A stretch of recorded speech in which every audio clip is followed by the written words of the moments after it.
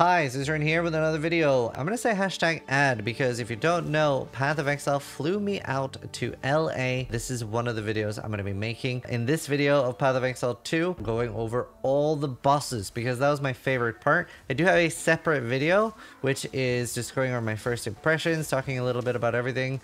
In this video, it's only going to be all the bosses, so I'm not going to be talking about my abilities and stuff like that. We're also going to be looking a little bit about uh, other people like Nugi and stuff, fighting some bosses that I didn't get to fight and some side bosses. I thought it was so wonderful. Like, I, I really feel like they absolutely nailed the bosses. Even the early ones are are deadly and scary.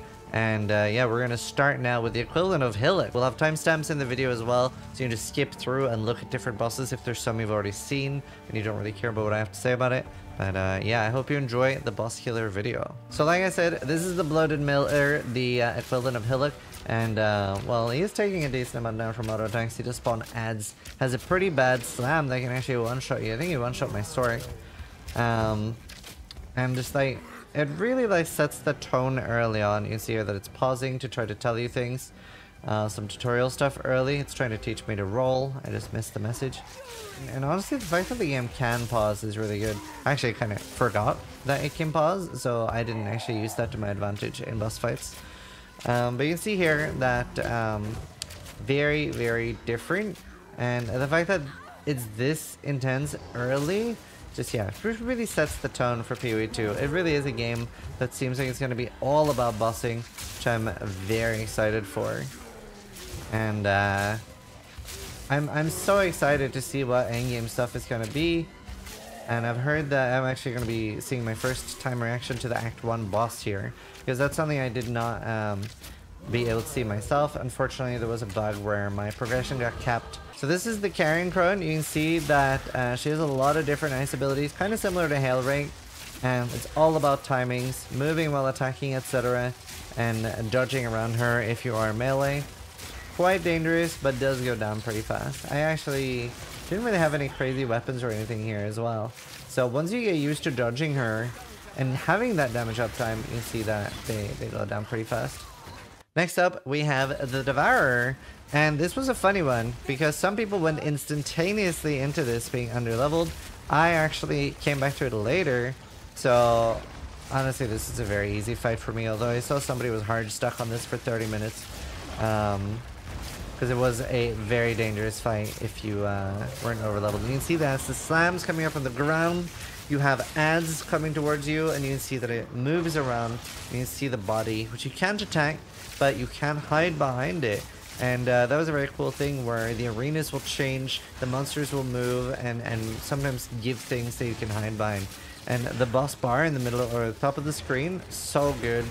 And that move you can iframe dodge roll through, which you can see I try out here and successfully do. Because I wasn't actually sure if it gave iframes, and I'm like, oh my god. Uh, sadly, I did not have a microphone while recording all of this, but I was uh, plugging out when I realized there were iframes, and here you can see I almost die towards the end. Did an excited swirl with my cursor. Now, I just love how many bosses we get so early because um, for my Ranger playthrough, I basically did two hours on Ranger and I think there's eight or nine bosses that I fight. And that's so cool to me that there's like actual decent boss fights that early in the game. Uh, here we're fighting the Rust King. I did actually die to this on the first try. We are now watching my uh, successful kill. And... Uh, you see it summons like mobs around you that locks you in, and then it has like a um, a huge army of uh, weapons, or uh, like so many weapons that'll fly across the screen and try to kill you. That one wasn't too bad, but yeah, the one where it like pours weapons across the screen, that one one-shot me when it hit me. I'm pretty happy with the kill speed of bosses when you know what you're doing. There I found a short bow. You saw like the little excited twirl in my, my mouse there. Um, so I'll actually, I'll, I'll look at me identifying it. I wasn't actually going to do that in this video, but I was uh, very excited to find a weapon. You see I got attack speed, which is huge, and flat physical damage to attacks as well. So uh, yeah, really good. Next up here, we have Asinia, the Praetor Consort, and there's like two similar bosses here. And we have this one and Draven. She is a lot more dangerous than uh, Draven. But quite a dangerous boss. I don't think I died to this. This is my first attempt. On the Ranger, I was doing quite a lot of the bosses on the first try. On the Sorceress, I will not. I will be mostly showing the Ranger fights. That's what I had the most fun with. It's all about moving, and honestly, WASD felt so good for that. Because it, it, like, the PoE one stutter stepping, and like, really having to commit to your attacks makes the boss fights feel so different. You see here that like she's pulling in ghosts, which honestly I didn't really figure out if that's a cosmetic thing or if it actually empowers her. But she summons Ed, she has the Bone Prison, she has the Slam, so already here she has like similar amount of abilities to our Ubers in the current game. Like it's, it's a little bit crazy how advanced the bosses early on are. They all have like 10 plus abilities. It's very cool.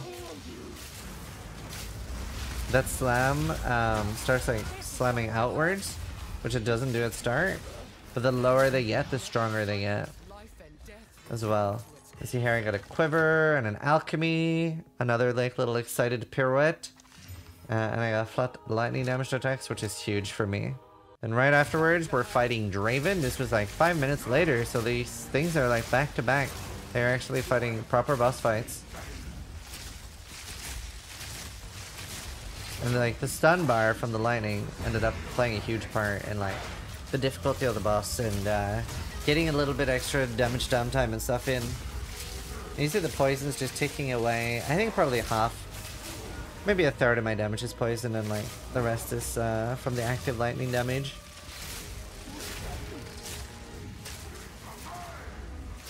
Very cool. So this is um, fairly similar theme to the other fight, but like very different moves. And it's like very aggressively after you, you have to dodge a lot more here.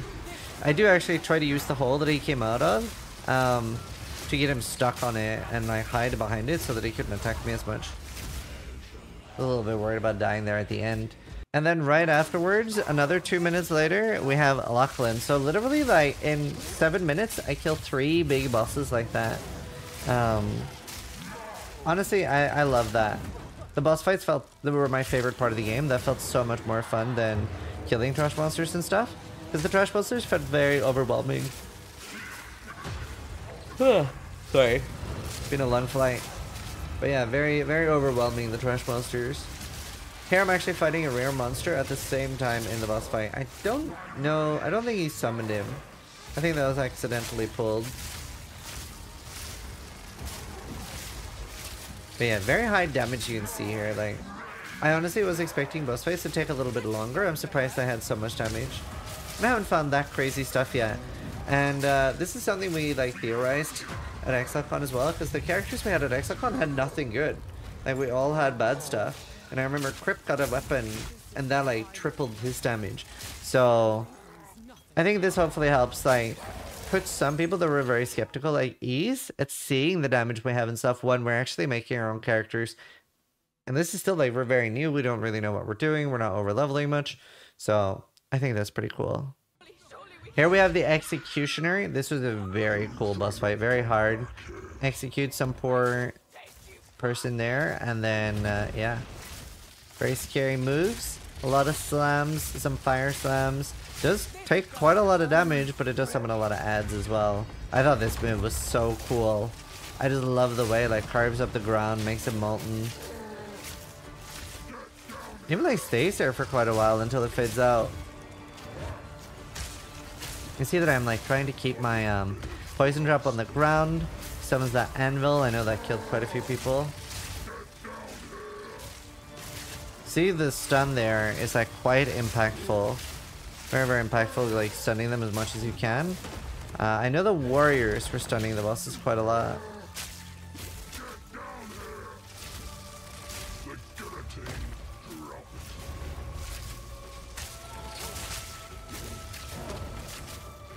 And this is actually the last um, boss that I was able to fight.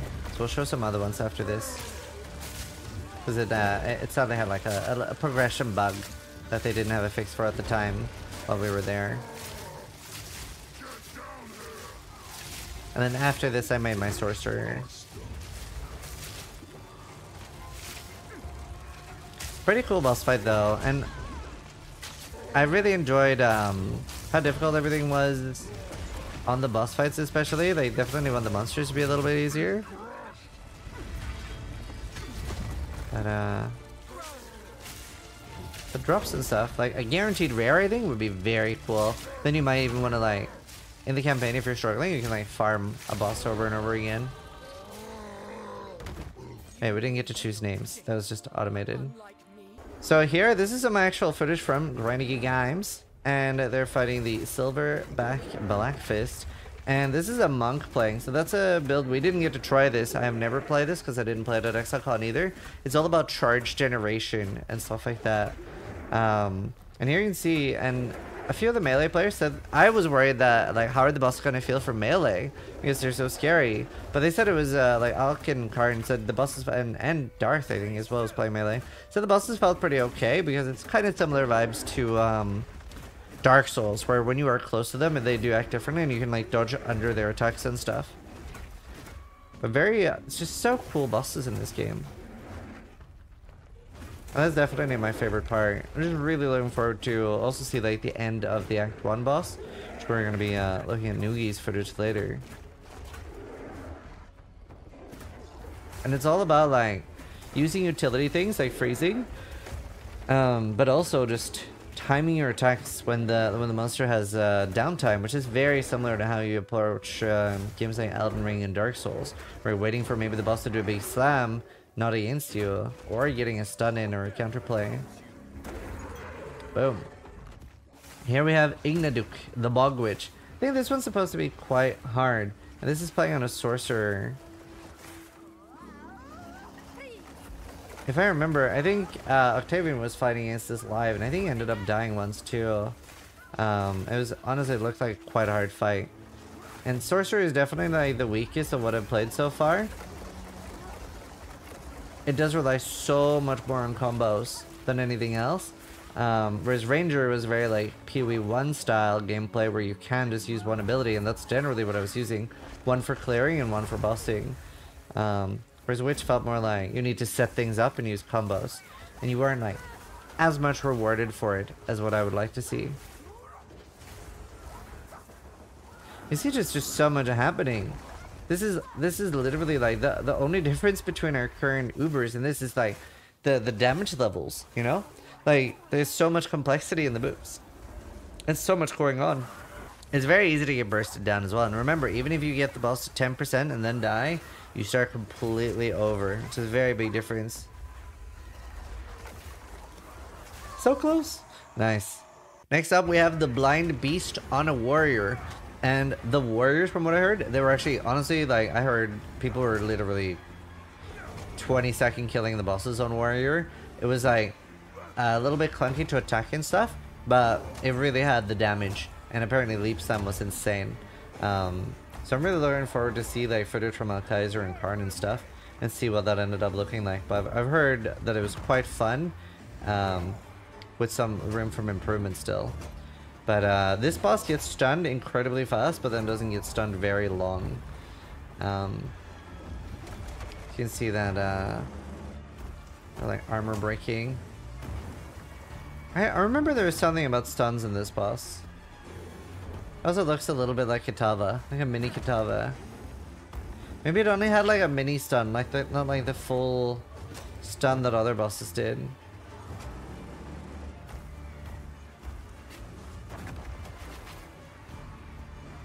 That's Thunder. I wish it didn't have like the jump into the air. That looks very clunky to me. Here we have Rathbreaker. I think I fought this at ExileCon with my, yeah, with Huntress, which is what he's playing on. It was a pretty decent fight. It has a lot of ads. Now I actually, uh, this is the, the Huntress, this is not a Ranger. And uh, both the Huntress and Ranger really felt like you could use one skill. So I used the, the lightning javelin that they do end up using here at some point, I think. I see it on the bar at least. That one. That's what I use. Pretty much only that. It was really nice having that like one uh, button ability. You can see here the clear speed and stuff is a little bit better. Here is Zicoatl, and I'm not sure. I wonder if this is the Act 1 end boss fight. But you can see that there's so much more going on. And um, this is the pre-approved footage from GGG. We're actually going to be watching Nugi fight a lot of bosses after this. Uh, but I did want to like go through all we had here. And uh, it's just so much going on. And I love that. It's so hard. Like there's just so much going on. The bosses are pretty tanky. And yeah, just the like crazy diversity of skills. It's putting like different things in the arena. Um, and you can see here that both freezing and stunning bosses is super important. Like a very big part of the game and it really like gives you some leeway, especially for things like energy shield recharge. There you have like a, honestly that might, might even one shot. And you see that's kind of similar to some of the um, expedition boss we have, you know the, the one with the mirrors where you show like the, the webbing before it attacks. Quite a lot of damage. Sorc seems pretty decent. I like bosses that have like big hitboxes um, and things like that, and really like getting the damage out there. And honestly, what like stood out to me the most, like the the sorcerer is mostly like it has um it needs number adjustments, but like the abilities and stuff like felt really good and very fun. Uh, if they they get some love.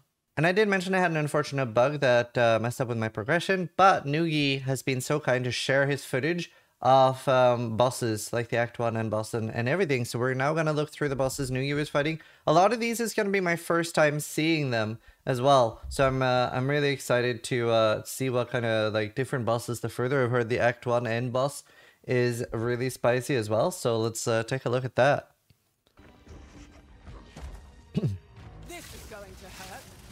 I have no idea what this does. You do notice like so many of those. What was that? A bait? Like a a fake out? Oh my god! Look at Nugi having his map open. Wow, that was a lot of damage.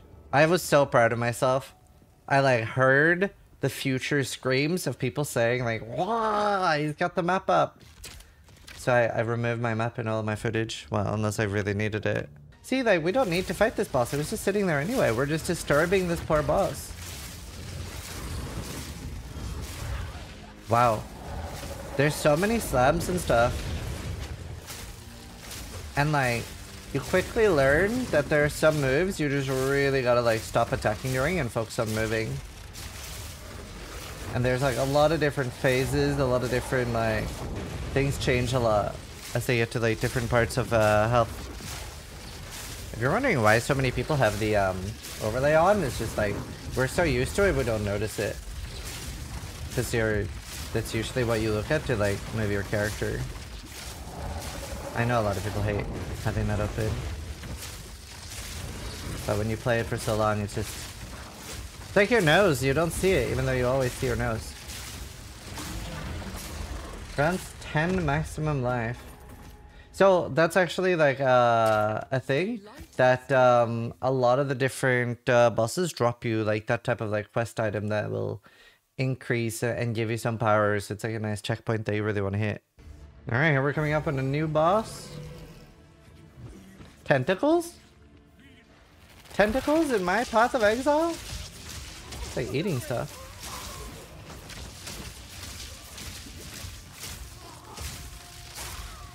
Wonder what happens if you go close to the... Um... Maybe you don't want to get too close. Is it just seafood? Is it just a snack for the boss? Maybe have so many support gems. Iron Count. The Nugi's like full lightning. He doesn't seem to use any poison stuff or very little poison stuff. He's using one something that poisons. He gets wow. That's cool. Oh wow. Oh, he doesn't have a thawing potion. Maybe he didn't find one. Wow. They're very like on you. Wow.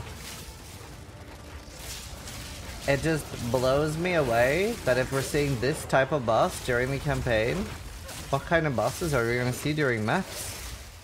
And like, imagine like our current equivalent of like elders and stuff. I do love that we have iframes. That does feel so good. so many different cool abilities. I really like the one where he pushed him up against the wall. I wonder if he's gonna do Deathless first try. So Jonathan did say that he didn't actually want people to do most fights deathless. Like you're supposed to like die and learn a move and be like, oh okay. Wow, that looks so cool. That looks so Souls-like. That looks so Souls. That's so sick. Look at that boss. The deeper voice. Wonder if him stunning him there interrupted his move with the light from the sky.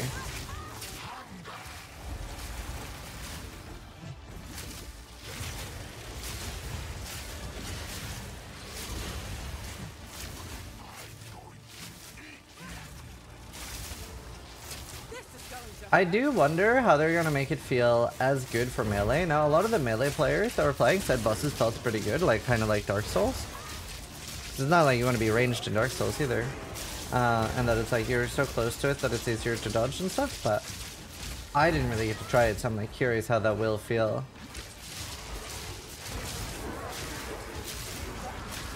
A lot of ads. This reminds me a little bit of um, Varana. Just a cooler Varana. Oh, wow. That was smart. So if you don't know, you can portal out made a boss fight to go get fast charges. Man, the stuns are so big. That's such a cool fight.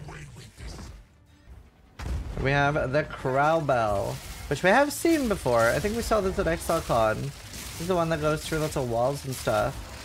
Like a, a boss fight that moves. I'm so sad I didn't get to like fight this.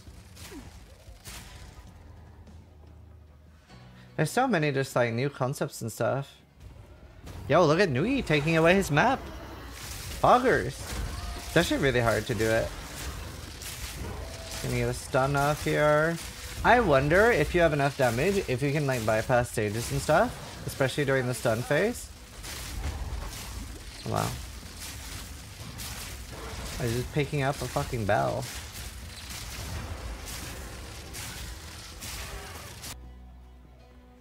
I wonder if it's hiding.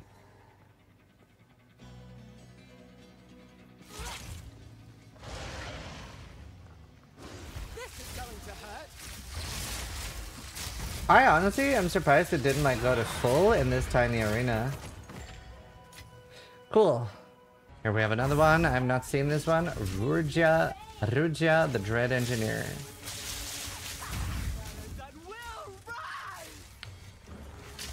Wonder how strong things that like let you put things down in advance will be so you can like insta burst the boss.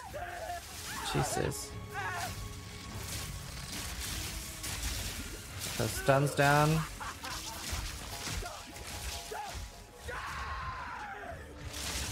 Damn. He's doing so much damage as well. Wow. Clean first try, Nugi. Oh. Second phase? No. Once it drops loot, you know you're good. Some some games should make a boss drops loot in the first stage. Just like a little bit, just to like trick people. Alright, we have L'im the Impaler. Wow. You see here that Nugi's really done some sick damage down.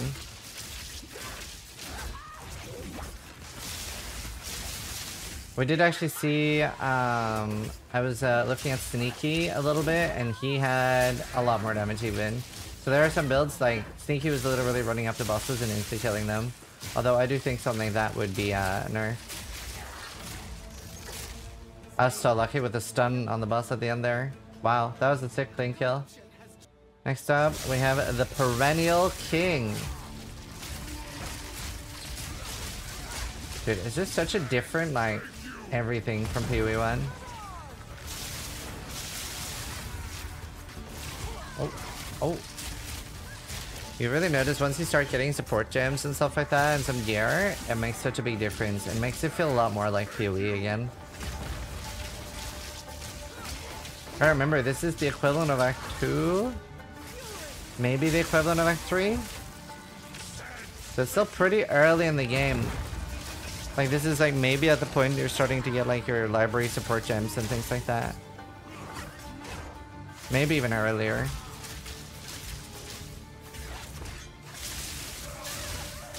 This is maybe like Vaal Oversoul slash Piety level. That's a cool move. So many slams. Oh, cool.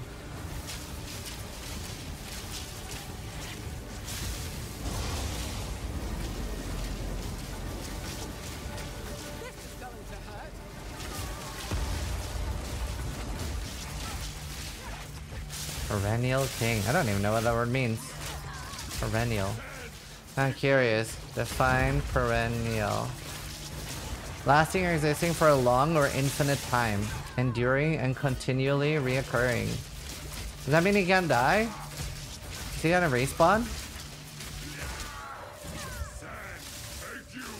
It's been a long fight. I would be surprised if it has stages. Never mind. Never mind. Okay, cool. He conjures the very sands against us.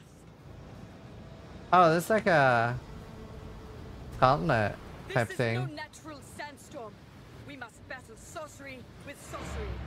Let us return to the caravan. Oh, okay, cool. So I guess you continue that boss fight later. And you can see it goes back to the caravan here. We're gonna show that off a little bit. That looks pretty cool. So from what I understand, sadly I didn't get to this part. You get to like choose where to go here. Like it's not linear. So you can choose what area and what bosses to fight first and stuff. So you have some uh, some more choices here. So I hope you guys enjoyed watching this compilation of PoE2 bosses that we've seen so far. So many of them are just really cool and I can't wait to see like what is the end game gonna look like? Like what kind of crazy bosses are we gonna get? And uh, yeah, I mean, hopefully you understand why I'm thinking like I'm probably not playing this on hardcore to start with. It does look like the type of stuff where you have to really learn it on softcore first um, before you start playing. But either way, I hope you guys are enjoying all the PoE2 content. Again, huge thank you to GGG for flying me out and including me. And yeah, sub if you liked the video, but more importantly, try to die less than I do.